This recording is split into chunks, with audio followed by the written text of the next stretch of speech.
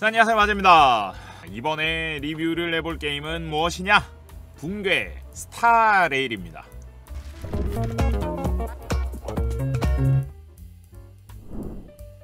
HoYoverse의 신작 게임으로 턴제 모바일 게임입니다. 다만 이번 리뷰는 Star Rail이라는 게임 리뷰이기도 하지만 원신과 Star Rail을 통해 HoYoverse를 알아보는 듯한 리뷰이기도 합니다. 첫 번째입니다 모바일 게임스러워졌습니다. 원신은 모바일이 지원되는 PC 게임에 가깝습니다. 모바일 환경에서 일단 발열이나 렉 같은 문제가 꽤 크고 컨트롤이 꽤 중요한 게임인데 모바일에서 만족할 만한 컨트롤을 하기도 어렵습니다. 모바일 게임이지만 야외 환경에서 이동 중에 플레이하기도 어렵고 실내 환경에서도 다른 일을 하면서 하기도 어렵습니다. 반면에 Star Rail은 정말로 모바일 게임스러워졌습니다. 모바일 기기로 잘 돌아갑니다. 저 같은 경우 4년 전에 구매한 iPad Pro 2세대 그리고 작년에 구매한 Z Fold 4 두 가지로 플레이를 하는데 프레임이나 발열 문제가 플레이하는데 불편함이 크게 느껴지지 않을 정도입니다. 플레이 방식도 역시 훨씬 모바일 게임스럽습니다. 자동 전투가 가능한 턴제이기 때문에 다른 일을 하면서 가볍게 시간을 때울 수 있죠. 집중해서 하는 PC 게임과는 다른 모바일 게임만이 가지고 있는 매력 중 하나인 어떤 일과 동시에 플레이하면서 효율적으로 뭔가를 하고 있는 것 같은 만족감을 느낄 수 있습니다. 그렇다고 해서 마냥 방치형 게임 같이 즐기는 게임은 아닙니다. 현재 나의 성장도에서 높은 난이도를 느낄 수 있는 컨텐츠를 하기 위해서는 집중을 해야 할 때도 있죠. 그 컨텐츠를 들어가기 위해 해야 하는 준비 과정 역시도 여러모로 머리를 쓰는 재미가 있고요. 결론은 Star Rail은 라이트하게 하는 유저나 하드하게 하는 유저나 모두 즐길 수 있는 모바일스러운 재미가 있습니다. 두 번째로 호요버스 무한 궤도입니다. 이 내용에 들어가기 전에 한번 보고 넘어가면 좋을 게 있습니다. 원신과 스타레일의 초반 흥행 추이입니다. 자, 현재 보시고 계신 자료가 초반 원신의 1일 접속자 수의 추이입니다.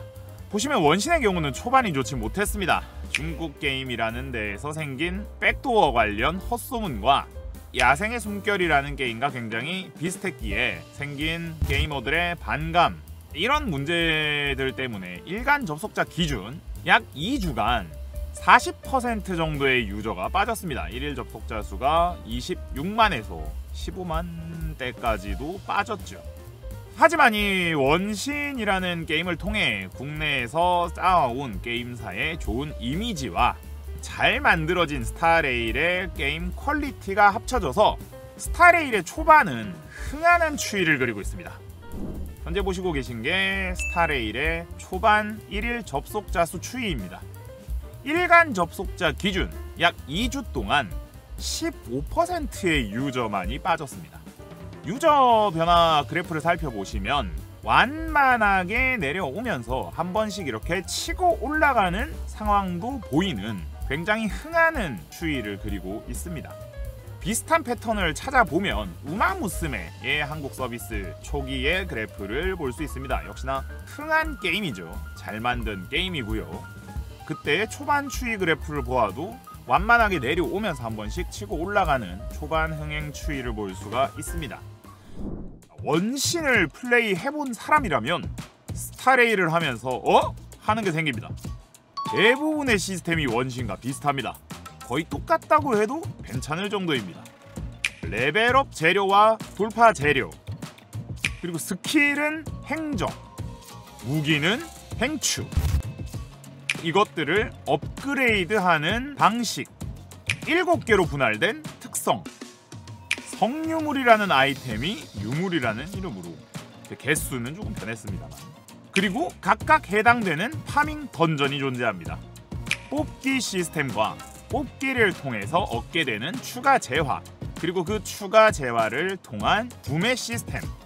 지역별로 존재하는 상점들과 지역별 구매 재화 판매하는 아이템들의 종류 게임을 하다 보면 어? 저거 그건데? 이게 반복이 됩니다 원신을 하던 사람이라면 빠르게 Star Rail에 적응을 할 수가 있고 Star Rail을 먼저 접한 사람이 원신을 하게 되면 역시나 빠르게 적응이 가능합니다. 게다가 눈으로 보이는 부분인 그래픽적인 부분에서 전작인 원신보다 전체적으로 발전된 게임의 퀄리티, 좀 더 좋아진 모델링과 초반부터 강한 임팩트를 주는 연출 등 직접적으로 보여주면서 원신이라는 글로벌 빅히트 작품을 통해 쌓아온 호요버스라는 큰 이름값에 대한 신뢰도를 또 한 번 올린 게 아닌가 싶기도 합니다. 국내 기준으로는 재밌는 추이인데 스타레일이 오픈하고 나서 붕괴 서드라는 게임의 1일 접속자 수는 크게 늘지 않았는데 원신의 1일 접속자 수는 살짝 늘어난 경향을 보여줍니다. 이렇게 되면 이제 아직 출시가 되지 않았지만 Zenless Zone Zero라는 HoYoverse의 신작 역시나 기대해 볼만 할 것이고 원신 Star Rail에서 본 기본 시스템에 적당한 변주를 잘 넣는다면 아 또 이거네 하면서 질리는 게 아니라 오히려 적당히 새로우면서 적응하기는 쉬운 그 무언가가 될 테고 거기에 이벤트나 스토리의 텀을 잘 조절하면 HoYoverse 게임에 만족하는 사람들은 HoYoverse 게임 내에서 돌고 도는 게 더욱더 쉬워질 겁니다. 이것을 Star Rail을 통해서 볼 수가 있죠. 자, 그리고 세 번째입니다. 네, 니들 말을 다 듣고 있었다. Star Rail이 던지는 가장 큰 메시지가 이것 같습니다. 게임사가 게이머들이 하는 이야기를 잘 듣고 있었고 그 이야기를 바탕으로 시스템을 개선해서 신작 게임을 만들었다는 것. 정말 원신 유저들이 이야기하던 걸 디테일하게 많이 반영한 게임이 붕괴 Star Rail입니다. 그중 몇 가지만 짚어보죠. 요일별 파밍 던전이라 힘들다. 매일 파밍 가능한 던전으로 바뀌었습니다. 캐릭터 돌파 재료가 복잡하다. 캐릭터 돌파 재료를 7 특성으로 간편화했습니다. 파티 세팅 창 넘어가는데 로딩이 왜 있냐? Star Rail에서는 로딩이 없습니다. NPC 돌려막기 때문에 좀 그렇다. 돌려막기를 하긴 하는데 외형을 조금 더 다양화를 했습니다. 신상에서 피 차는 게 미묘하게 느려가지고 귀찮다. 텔레포트 포인트를 들어가거나 지나가면 바로 피가 찹니다. 몇 가지만 예로 들어봤는데 게임 시스템적으로 좀 큰 부분부터 사소한 부분까지 원신 유저들이 이야기하던 것들을 다 듣고 있었다고 말하는 듯 놀라울 정도로 많은 부분들이 개선돼서 나온 게임이 붕괴 스타레일입니다. 유저들이 이야기하고 있는 것을 직접적으로 저희가 듣고 있으니까 기다려주세요 이렇게 공지를 하거나 하는 건 아니지만 후속작을 통해서 게임사가 유저들이 이야기하는 것들에 귀 기울이고 있었다는 것을 확실하게 보여주는 것이죠.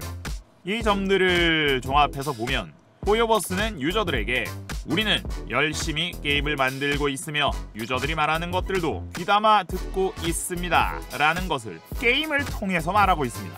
게이머가 게임사에게 말하는 굉장히 이상적인 모습이죠. 자, 앞으로도 이런 좋은 모습을 꾸준히 보여줬으면 하는 바람을 말하면서 영상 마치도록 하겠습니다. 재미있게 보셨다면 좋아요, 댓글, 구독 부탁드립니다.